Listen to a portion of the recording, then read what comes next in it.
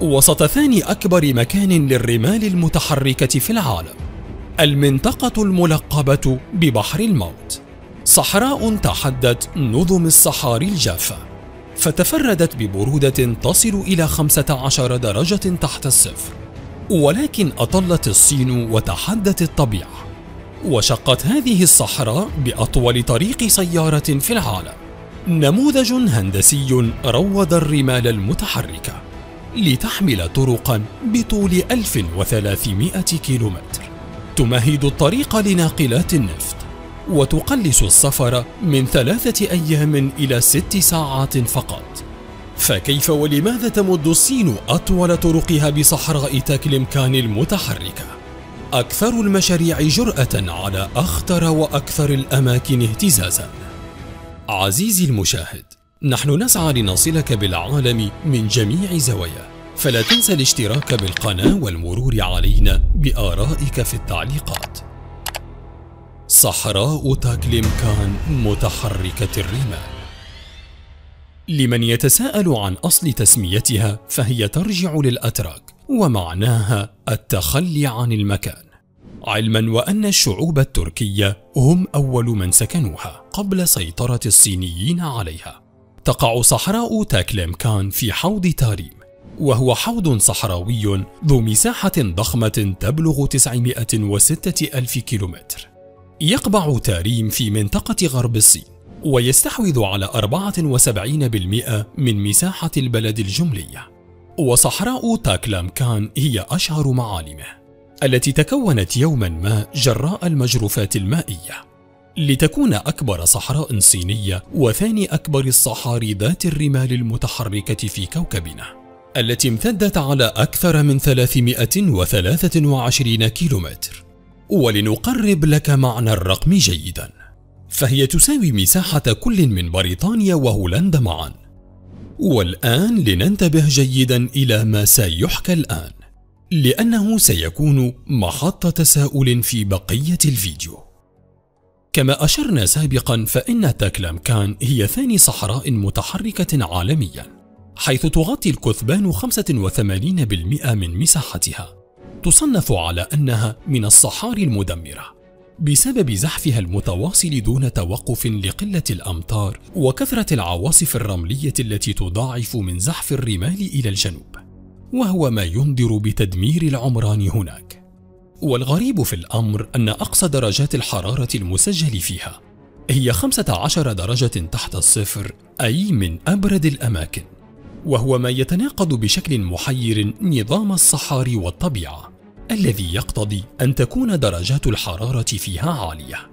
باختصار فإن صحراء تاكلمكان جعلت منطقة الجنوب من بين أسوأ المناطق المناخية على مستوى العالم.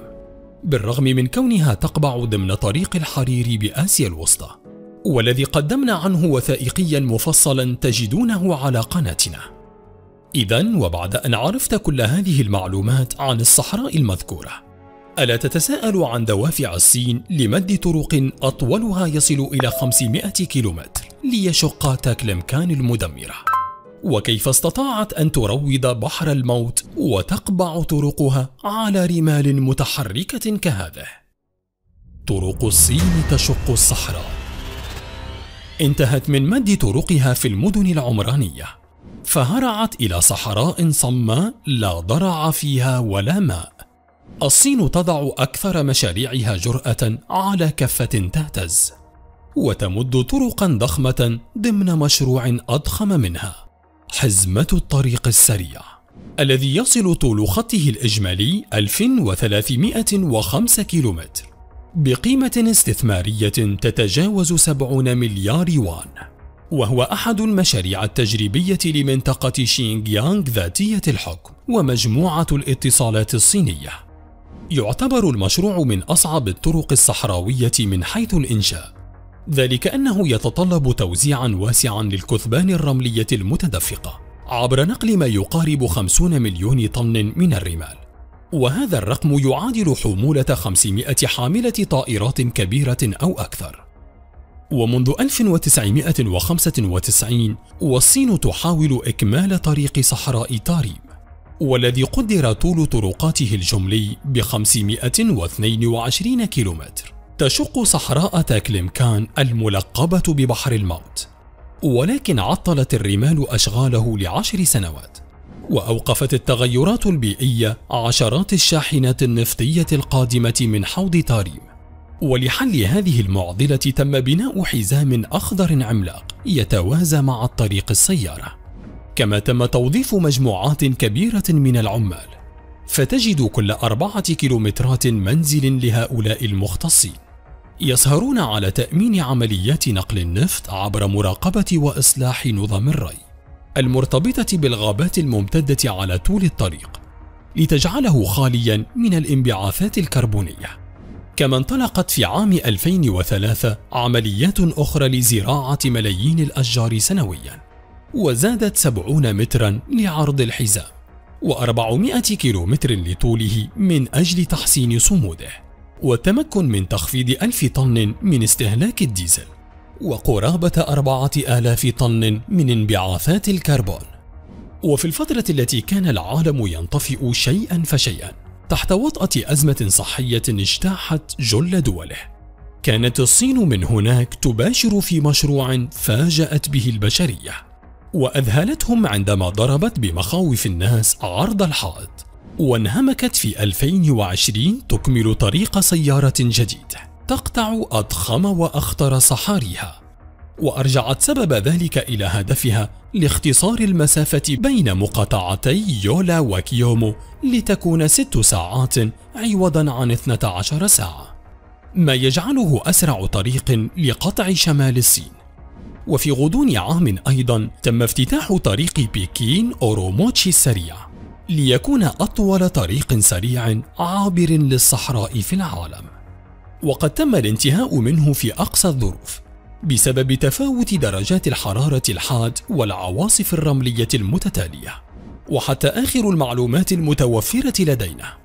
فالصين الآن تملك في جعبتها من 1200 كيلومتر من الطرق السريعة عبر صحراء تاكليمكان. تنقسم بين طريق رئيسي بطول يتجاوز 500 كيلومتر وطريقين آخرين تم مدهما لخدمة حياة الناس. وقد نجحت الصين بذلك في تقصير وقت السفر. من ثلاثة أيام إلى عشر ساعات ثم إلى ست ساعات. ومهدت لنفسها الطريق لإطلاق مشروع لتحويل جميع مولدات الديزل إلى آلات كهروضوئية. كما جهزت المولدات الشمسية بأجهزة تخزين الطاقة لضمان إمدادات ثابتة بالطاقة النظيفة لعمال الصيانة على طول الطريق. ولكن كيف استطاعت الصين ترويض الصحراء والتغلب على زحف الرمال المتحركة لإنهاء الطريق؟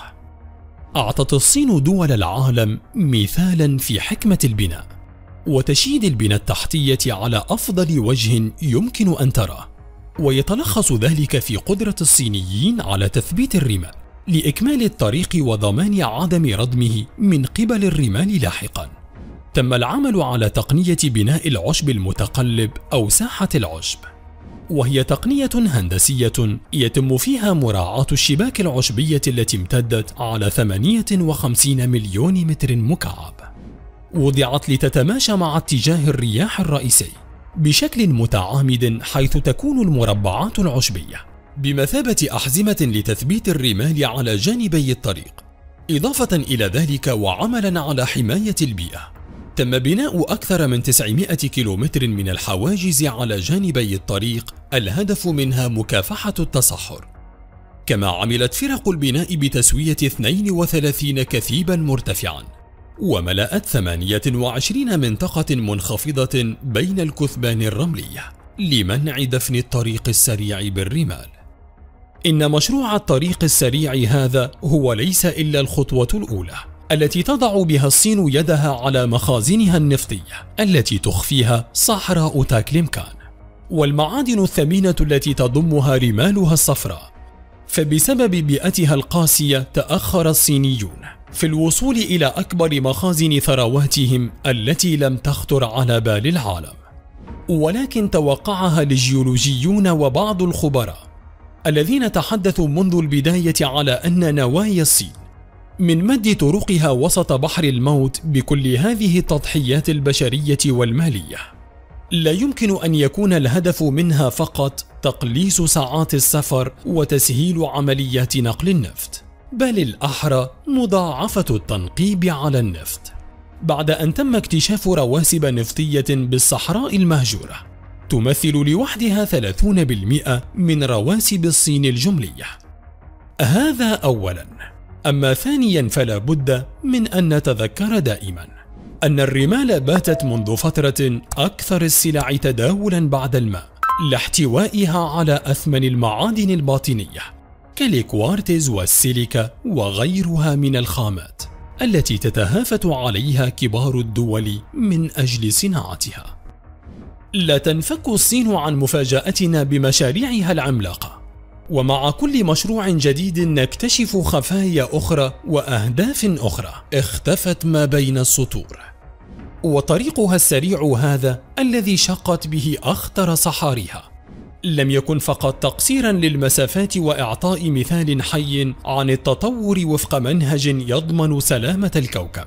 وإنما هو نموذج آخر على أن صناعات الصين لا تعرف المستحيل.